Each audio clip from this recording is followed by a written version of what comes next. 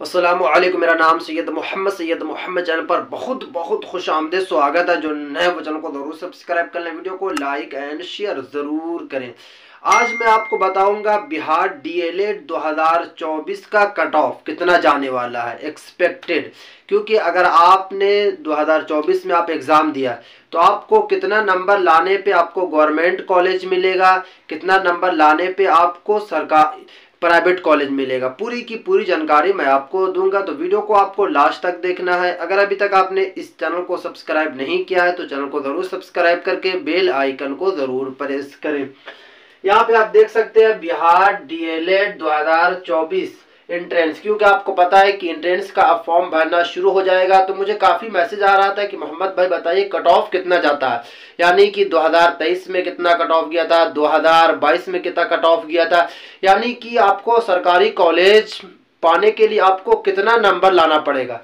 चलिए मैं आपको पूरी जानकारी इस वीडियो में दूँगा। देखिए, पूरे बिहार में जो प्राइवेट कॉलेज हैं, जो डीएलएड कराते हैं 306 हैं। पूरे बिहार की मैं बात कर रहा हूँ, जो प्राइवेट कॉलेज है, उसकी जो सीट देख सकते हैं, इक्कीस हज़ार सौ सीटों पर वहाँ पे डीएलएड कराया जाएगा। टोटल जो कॉलेज है 306 है। गवर्नमेंट बहुत ही कम कॉलेज है, सिर्फ़ और सिर्फ़ बासठ कॉलेज है, सीट जो है सिर्फ़ और सिर्फ़ इक्कीस सौ ही सीट है। तो आपको नंबर ज़्यादा लाना पड़ेगा अगर आपको सरकारी कॉलेज चाहिए तो। अगर आपको प्राइवेट कॉलेज चाहिए, फिर भी आपको नंबर तो अच्छा लाना ही पड़ेगा, तभी जाके आपको प्राइवेट या फिर सरकारी कॉलेज मिलेगा। चलिए, मैं आपको बता देता है, कट ऑफ़ कितना जाने वाला है। एक्सपेक्टेड यानी कि अगर आप दो हज़ार चौबीस में इंट्रेंस देने जा रहे हैं डी का तो आपको माइंड में बैठा लेना है कि आपका कट ऑफ़ कितना जाने वाला है। क्योंकि देखिए, पिछले 2022 की अगर मैं बात करूँ, या फिर 2021 या फिर 2023 में जो मैं बात करूँ तो लगभग लगभग देखने की कोशिश कीजिएगा, तीन लाख से भी ज़्यादा बच्चों ने फॉर्म भरा था। तीन लाख से भी ज़्यादा बच्चों ने फॉर्म भरा था। और टोटल यहाँ पे आप सीट देख सकते हैं, लगभग लगभग वही टोटल पच्चीस या फिर चौबीस हज़ार ही सीट रहती है बिहार में पूरे डीएलएड के लिए। यानी कि आप ज़्यादा से ज़्यादा तीस हज़ार सीट कह सकते हैं। फॉर्म कितना भर, भरते हैं? तो देख सकते हैं तीन लाख से प्लस बच्चे फॉर्म भरते हैं। तो जिनका अच्छा नंबर आता है उनको गवर्नमेंट मिल जाता है कॉलेज। जिनका थोड़ा कम नंबर आता है उनको प्राइवेट कॉलेज मिलता है। पिछली बार, यानी कि 2023 में जो सिलेक्शन हुआ था, सिर्फ़ और सिर्फ़ अस्सी हज़ार बच्चों का सिलेक्शन हुआ था, जो बच्चे, और उसके बाद फिर सारे बच्चे फेल हो गए थे। तो आपको कंपटीशन बहुत ज़्यादा है तो इसलिए आपको ज़्यादा मेहनत करके इंट्रेंस देना पड़ेगा। तभी जाके अगर आपको अच्छा नंबर लाइएगा तो आपको सरकारी कॉलेज मिल जाएगा। अगर आपका थोड़ा सा कम नंबर रहेगा तो आपको प्राइवेट कॉलेज मिल जाएगा। बट अगर आपको डायरेक्ट आगे जाकर एग्ज़ाम दीजिएगा तो आपको कुछ नहीं मिलने वाला। आपको माइंड में बैठा लेना। क्योंकि इसमें नेगेटिव मार्किंग नहीं रहता। सबसे बड़ी खुशखबरी की बात है टोटल जो नंबर का एग्ज़ाम होता है 120 नंबर का एग्ज़ाम होता है। ये 120 नंबर का आपसे क्वेश्चन पूछा जाएगा। अलग अलग क्वेश्चन पूछा जाएगा। रीजनिंग का भी होगा, हिंदी का भी क्वेश्चन होगा, उर्दू का भी होगा, इंग्लिश का भी होगा, मैथ्स का भी होगा। अलग अलग आपसे क्वेश्चन पूछा जाएगा। टोटल जो क्वेश्चन रहेगा 120 को नंबर का क्वेश्चन रहेगा। क्योंकि डीएलएड पर मैं पूरी संपूर्ण जानकारी पहले वीडियो बना दिया हूँ तो अगर आपने वो वीडियो नहीं देखा तो वो वीडियो भी ज़रूर देखिए।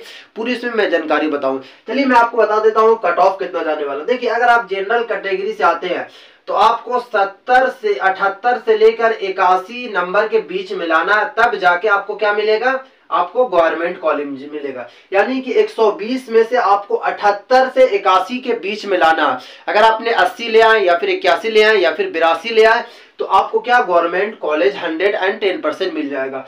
और अगर आपको प्राइवेट कॉलेज के लिए बहत्तर से प्लस आपको नंबर लाना है। अगर आप सत्तर लाते हैं या फिर आप पैंसठ लाते हैं तो आपको प्राइवेट ना तो आपको सरकारी कोई कॉलेज नहीं मिलेगा। ये आपको याद रखना अगर आप ईडब्ल्यू e से आते हैं तो पैंसठ से लेके चौहत्तर के बीच में आपको नंबर लाना है। अगर आप सत्तर लाते हैं, बहत्तर लाते हैं तो आपको गवर्नमेंट कॉलेज मिल जाएगा।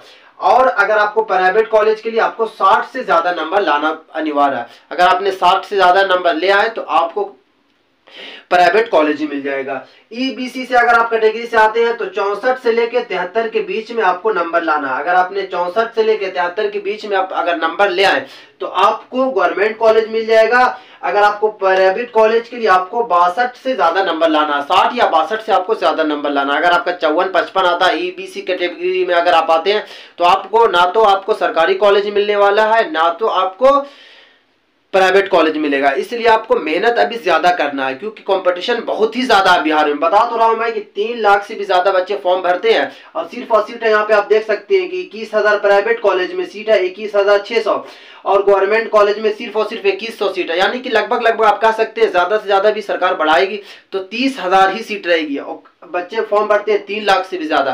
तो इसलिए आपको मेहनत बहुत ज़्यादा ज़्यादा करना है, क्योंकि आप फॉर्म भरा जा रहा और फॉर्म भरने के बाद आपका मार्च में आपका एग्ज़ाम लिया जाएगा। मार्च में और फिर अप्रैल में आपका रिज़ल्ट भी आ जाएगा। तो इसलिए आपको मेहनत ज़्यादा करना बीसी की अगर मैं बात करूँ तो अड़सठ से लेकर चौहत्तर तक के बीच में आपको नंबर लाना है। तब जाके आपको गवर्नमेंट कॉलेज मिलेगा।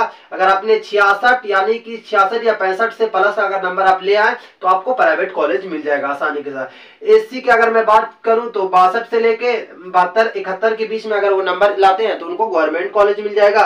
चौवन से प्लस आपको नंबर लाना है प्राइवेट कॉलेज के लिए। एस की अगर मैं बात करूँ तो सड़सठ से लेके बहत्तर तक आपको नंबर लाना पड़ेगा। सड़सठ से लेके बहत्तर तक और तिरपन से प्लस चाहिए आपको प्राइवेट कॉलेज के लिए। तो ये है कट ऑफ़ ये cut off expected cut off है। यानी कि ज़्यादा भी जा सकता है क्योंकि बच्चे ज़्यादा फॉर्म भरेंगे। जैसे पिछली बार जो बच्चे ने तीन लाख या साढ़े तीन लाख बच्चों ने फॉर्म भरा था तो इस तरीके से कट ऑफ़ किया था। इस बार कहीं चार लाख बच्चे बढ़ जाएँगे तो कट ऑफ़ हाई चला जाएगा।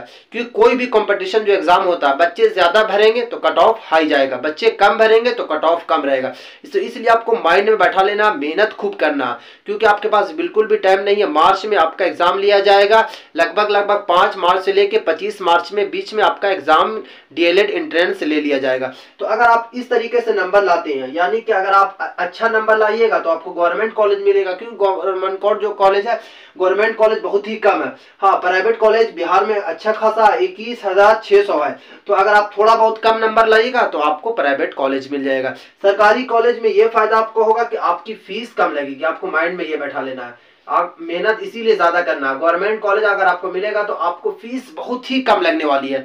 और आपको प्राइवेट कॉलेज मिलेगा तो फ़ीस थोड़ा सा हाई हो जाएगी। इसलिए आपको मेहनत करना अभी आपके पास दो से लगभग डेढ़ महीना टाइम है तो अभी ज़्यादा से ज़्यादा मेहनत कीजिए और मेहनत करने के बाद आप कामयाब ज़रूर होंगे। अगर आप उर्दू के कैंडिडेट हैं या फिर आप किसी भी कैंडिडेट हैं तो आपका कट ऑफ़ यही जाने वाला है। जो मैं आपको बता रहा हूँ, इस तरीके से कट ऑफ़ जाएगा। क्योंकि कंपटीशन बहुत ही ज़्यादा बिहार में जब से बीपीएससी या फिर उर्दू टीचर्स की बहाली निकल रही है तो सभी लोग जो है डीएलएड ज़्यादा कर रहे हैं। बीएड कम कैंडिडेट कर रहे हैं, क्योंकि बीएड का ग्रेजुएशन के बाद है।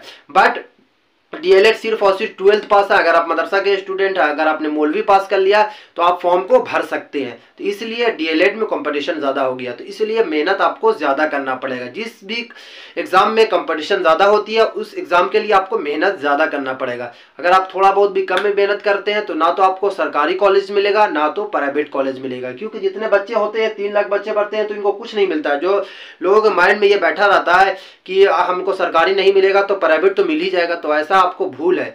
अगर आप नंबर नहीं लाइएगा तो आपको प्राइवेट भी कॉलेज नहीं मिलेगा। हाँ अगर आप अच्छा नंबर लाइएगा तो आपको सरकारी कॉलेज मिल जाएगा। तो ये थी आज की वीडियो। जैसे ही बिहार डीएलएड को फॉर्म आउट होता है तो मैं आपको सबसे पहले वीडियो बनाकर पहुँचाने की कोशिश करूँगा। जब तक के लिए आप इस चैनल को ज़रूर सब्सक्राइब कर ले, बेल आइकन को ज़रूर प्रेस करें और वीडियो को दोस्तों तक ज़रूर शेयर कर। दिए थी आज की वीडियो। असल